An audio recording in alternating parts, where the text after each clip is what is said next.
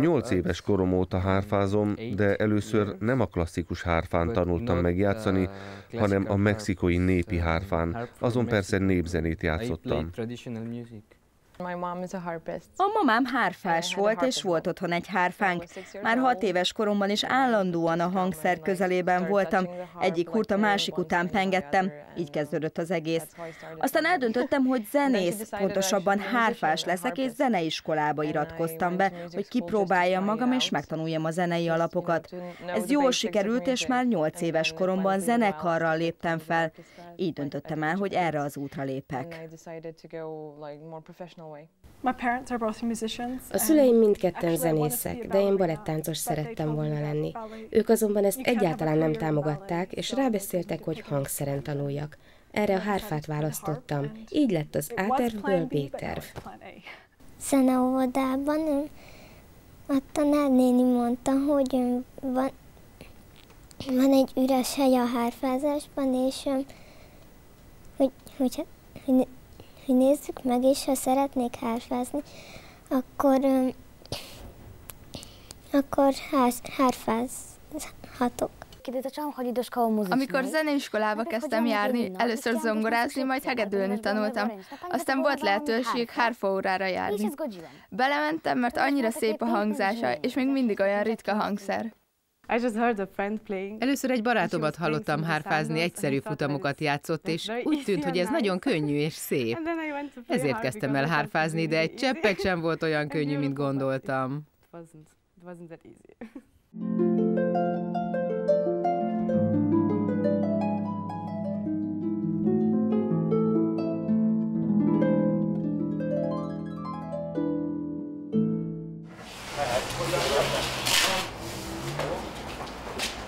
A hárfák Franciaországból, az ifjú muzsikusok pedig a világ 24 országából érkeztek a Szegedi Móra Ferenc Múzeumban rendezett versenyre.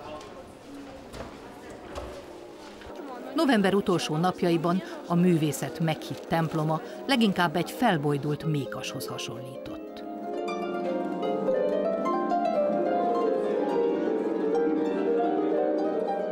Több mint 80-an indultak a 25, a 17 és a 12 éven aluliak kategóriájában. A komoly előkészületet igénylő rendezvény ötletgazdája és főszervezője Natália Gorbunova, szegedi hárfaművész. Több mint százan jelentkeztek, abból ugye nem mindenki jött el végül, de hát így is, hogy 80 fő feletti versenyző a versenyzők létszáma az szerintem rendhagyó. Érdekes, hogy, hogy egy-egy nagyon távoli országból is eljöttek, Mexikóból, Izraelből, Koreából, Japánból, Üzbegisztánból. Ez egy három évente megrendezésre kerülő verseny, de közben évente, minden évben van ö, ö, hárfa hangverseny, annak is mi adjuk most már a helyszínt, tehát én nagyon büszke vagyok arra, hogy ilyen értem, hogy a tegnapi megnyitón is próbáltam erre utalni, hogy hárfa nagy hatalommá vált a Móra Ferenc Múzeum.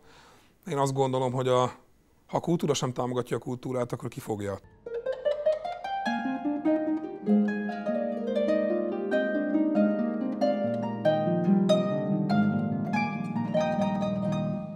Hárfa versenyt úgy is kezelhetjük, mint egy kiállítást, illetve úgy is tudjuk kezelni, mint egy rendezvényt, hiszen abból is számtalan van a Móra Ferenc Múzeumban, a kettő kombinációját, tehát erre fel vannak készülve a kollégák, hogy, hogy akár improvizálni, akár pedig profi módon beosztani, hiszen jelen pillanatban például a ö, gyakorlások is ezért a hárfa eléggé helyigényes dolog.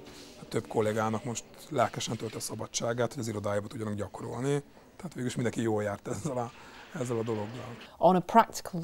Ami a gyakorlatot illeti, nehéz lenne egy versenyt lebonyolítani egy hárfa készítő cég támogatása nélkül, mert nagyon sok hárfát kell biztosítani a jelentkezőknek. Túl bonyolult és költséges lenne, hogy mindenki magával hozza a hangszerét, amelyen játszani szeretne. Nekünk pedig öröm a versenyzőket ellátni a sok jó minőségű koncerthangszerrel. With um, a large number of concert instruments. Minden kategória zsűri tagjai neves muzsikusokból, zenepedagógusokból és világszerte elismert hárfa művészekből kerültek ki. Még azt sem tudtam, hogy hol van Szeged. Azt hittem, hogy közel van Budapesthez. Annyira elfoglalt voltam, hogy még a térképen sem néztem meg, hogy hol van, és csak itt szembesültem vele, hogy két órás autóút ide a fővárosból. Nem hittem, hogy sokan eljönnek ide, mégis eljöttek.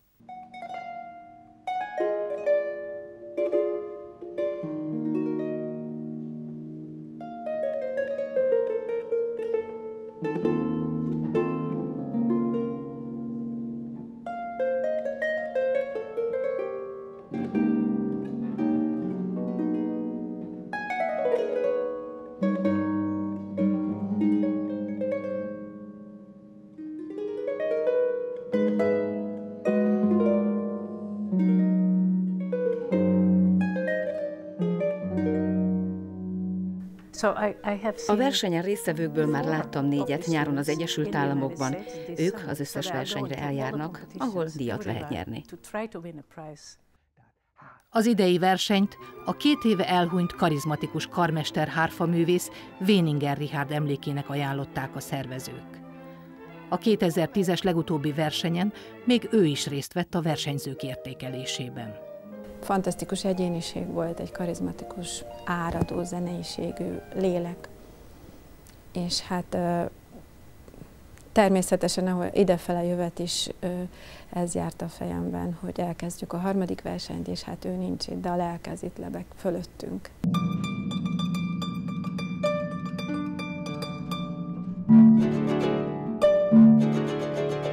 A legidősebb korcsoportban a 25 év alatti kategóriában Reményi Attila miniatűrök hárfára című műve lett a kötelező.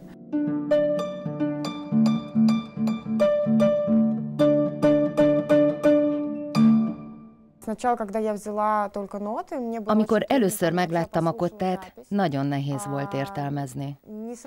Aztán meghallgattam a hangfelvételt, és még mindig homály volt előttem az egész. Viszont amikor elkezdtem komolyan tanulmányozni és belemélyedtem, egyszer csak nagyon érdekesnek tűnt. Mindegyik tételnek megvan a sajátos jellege, formája, egyedi előadásmódja, Tényleg érdekes volt.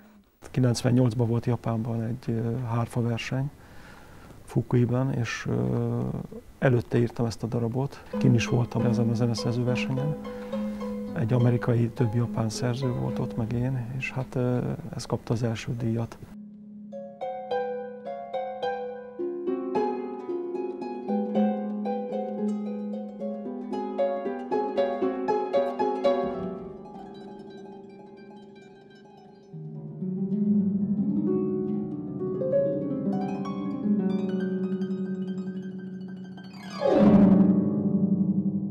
Nagyon érdekesnek találtam ezt a munkafolyamatot, megtalálni minden egyes hang helyét, hogyan kapcsolódnak egymáshoz, és megtalálni a megfelelő hangszínt, mert a szerző pontosan jelölte a dinamikát, a hangsúlyokat, vagy hogy milyen hangszínt szeretne.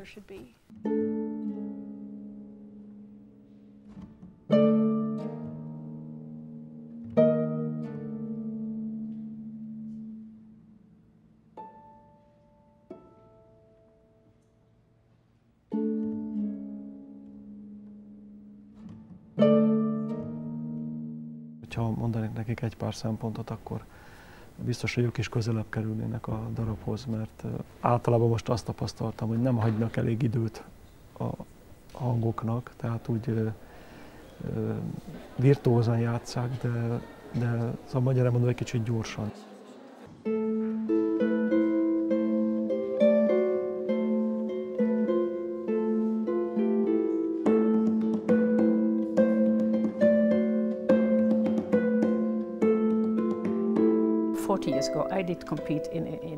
40 évvel ezelőtt, amikor még versenyeztem és első díjat kaptam 1970-ben Izraelben, azoknak adták a díjakat, akik technikailag a legtökéletesebben játszottak.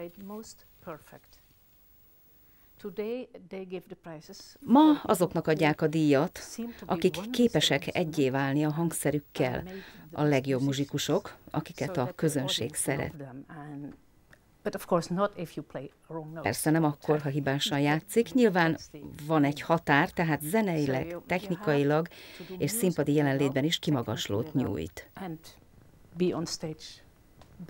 Ő egy olyan generációhoz tartozik még, akik egy kicsit más korban éltek, és egy kicsit más kornak az üzenetét hordozzák, mint az én, például az én ö, ö, velem egykorúak. Szóval ez egy kicsit olyan ilyen letisztultabb és ö, elmélyülni tudó kor volt még, és hogy ő annak még egy ilyen utolsó mohikánja.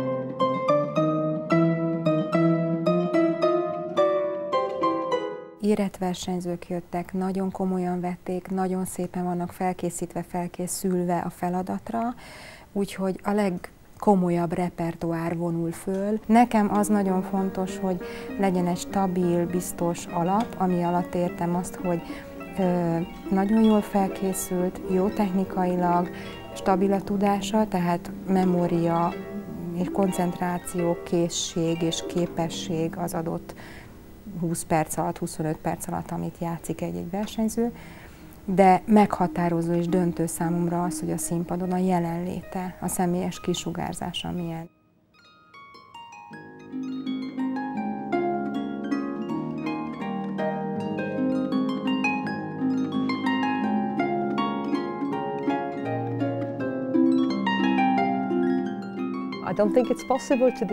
Nem gondolnám, hogy el lehet dönteni, hogy ki a legjobb.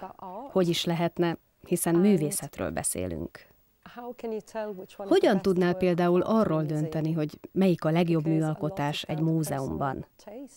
Hiszen a személyes ízlésed a meghatározó ebben. Ezért jó, hogy nemzetközi zsűrink van. Így mindenki gondol valamit arról, amit hall. Van néhány magától értetődő, objektív szempont. A zsűri például figyel arra, hogy milyen a bemutatott mű stílusa, vagy arra, hogy technikailag mennyire volt tökéletes. Vannak-e hibák benne? De úgy gondolom, hogy talán a legfontosabb az az, hogy megérinti-e a szívedet.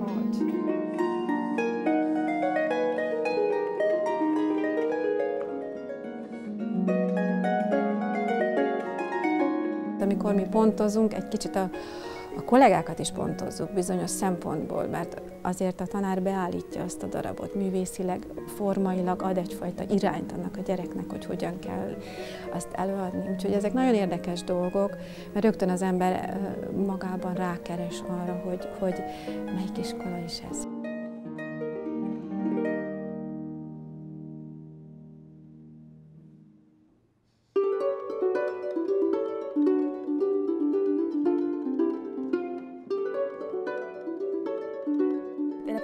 Az első alkalom, hogy ehhez hasonló szintű versenyen veszek részt. A korábbiak, amelyeken voltam, mind Olaszországban, legalábbis sokkal szűkebb körben zajlottak. Szerintem nem az a fontos, hogy nyerj, hanem az, hogy a saját játékoddal elégedett legyél. Ha befejezted az előadást, ha úgy érzed, jól játszottál, akkor az elég, nem kell nyerni, nyerni minden áron.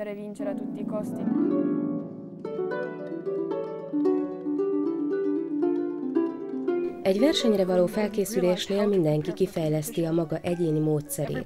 Mennyi időre van szüksége, hányszor kell eljátszania egy darabot közönség előtt, hogy gyakorolja a koncerthelyzetet, hogy ne izguljon, hogy a tőle telhető legmagasabb szinten adja elő azon a napon, abban a pillanatban, amikor a verseny zajlik. És ez a lényeg, ebből tanulunk a jövőbeli helyzetekhez fontos tapasztalatot szereznünk. Például, hogy helytálljunk egy zenekari próbajátékon, nagyon fontos, hogy legyen versenytapasztalatunk.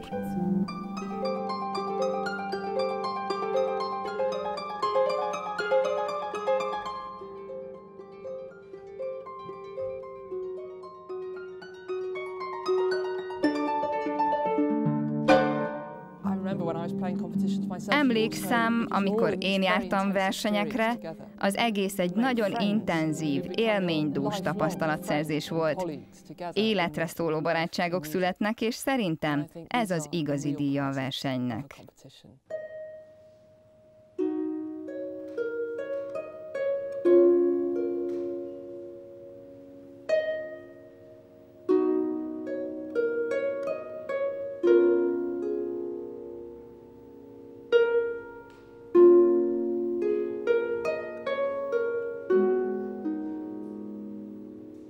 A 17 év alatti korcsoportban Bartók Este a székelyeknél című darabja, darabjának hárfa átirata lett a kötelező darab, és ott pedig az volt a szempontunk, az volt az ötlet, hogy mi lenne, ha olyan darabot adnánk, ami összességében technikailag nem nehéz, tehát egy kiváló 13 éves hárfás is el tudja játszani, de kiderül ebben a darabban, hogy kinek milyen lelke van.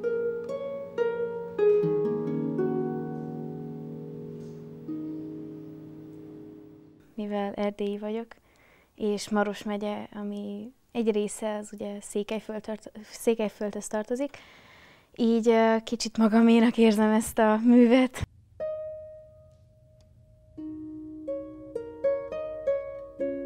Tulajdonképpen az este székelyeknél az a régi székely himnusz, tehát szövegre, szövege van, és amikor felkészültünk a versenyre, arra tettük a hangsúlyt, hogy minél énekelhetőbb legyen, hogy a zene az átadja azt a, a hanglejtést, a, tehát az énekelhetőséget, a szöveget, és ezért amikor játszom, úgy mindig éneklem magamban.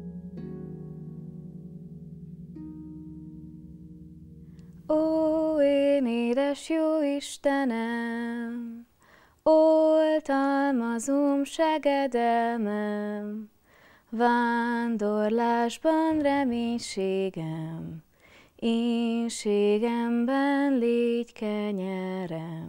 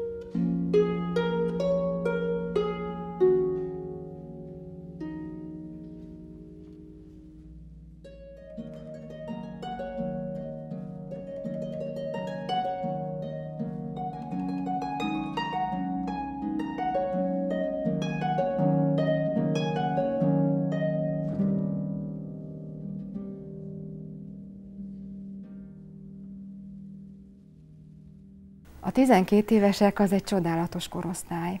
Azért, mert hihetetlenül önmagukat tudják adni, és, és hihetetlenül őszinték. Ők annyira ösztönösen képesek följönni a színpadra is, szóval annyira édesek és aranyosak, hogy az ember szíve melegszik. De már ebben a korban is nagyon erősen kiderül az, hogy kinek van olyan elhivatottsága, ki veszi annyira komolyan ezt a dolgot, és már nem csak játékosan, vagy nem csak egyfajta feladat, amit elé kitűztek és meg kell oldani. Ki az, aki esetleg mélyebben gondolja, vagy elmélyül jobban abba a muzsikába, abba a dologba, ami neki örömet okoz.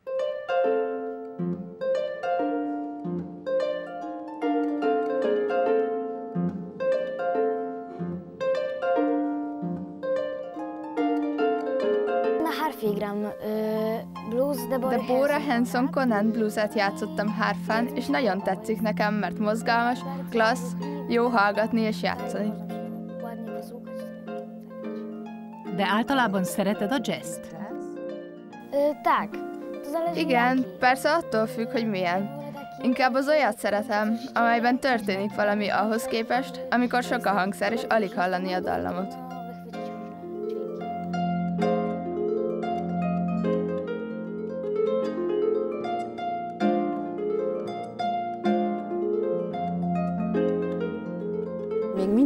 Tartozunk azon országok közé, amelyek hárfás nagyhatalmaknak nevezik magukat. Hát gondolok itt a franciákra, az oroszokra, de szerencsére egyre népszerűbb nálunk is.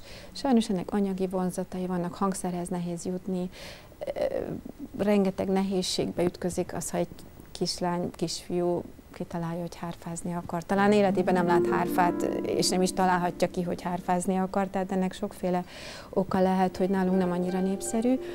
De én úgy látom, hogy az utóbbi 5-10-15 évben ez, ez igenis javuló tendenciát mutat, egyre többen hárfáznak.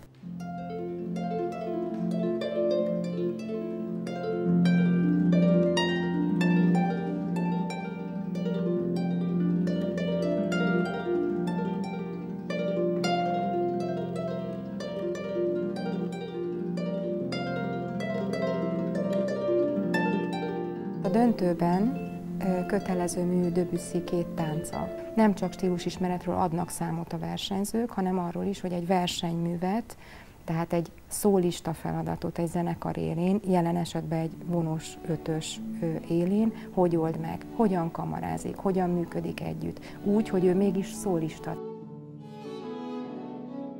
Nagyon összetett a feladat, de nagyon jó feladat. És egyébként Debussy-t játszani óriási öröm. Úgy érzi az ember, hogy fürdik a hangokban.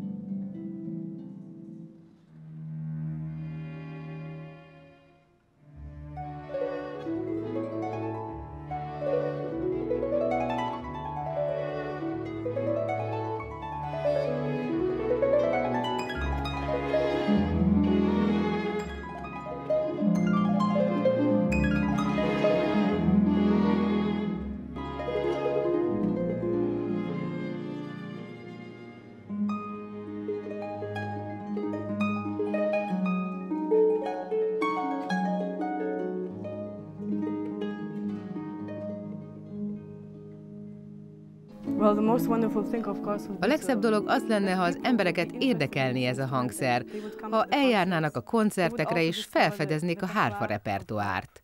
Jó lenne, ha még több hárfa átirat születne, klassz lenne új darabokat játszani, és az, ha a zeneszerzők új műveket írnának hárfára. Nos, ez mind nagyon jó lenne.